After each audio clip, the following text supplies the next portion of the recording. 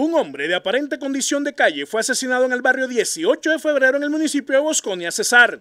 El caso ocurrió la madrugada del lunes. Se trata de Mario Duque, conocido como el abogado, el cual fue encontrado boca arriba en la carrera 23 con calle 27 sin signos vitales. La policía, una vez fue avisada por la comunidad, llegó al sitio y dio inicio a las indagaciones y pudo constatar de que se trataba de un sujeto apodado el abogado, el cual había sido visto minutos antes por lugareños, pero de él no se supo más, solo hasta que lo hallaron en dicha condición. Miembros del Cuerpo Técnico de Investigación CTI de la Fiscalía tomaron el cuerpo y lo llevaron a Medicina Legal de Valledupar para la necropsia de rigor. Hay total hermetismo en el municipio de Bosconia, ya que hasta el momento no se sabe quién pudo haberle causado la muerte a este hombre, conocido en la población. Investigadores iniciaron los oficios para hallar con el responsable del hecho y agradecen a la ciudadanía que aporte información valiosa para judicializarlo.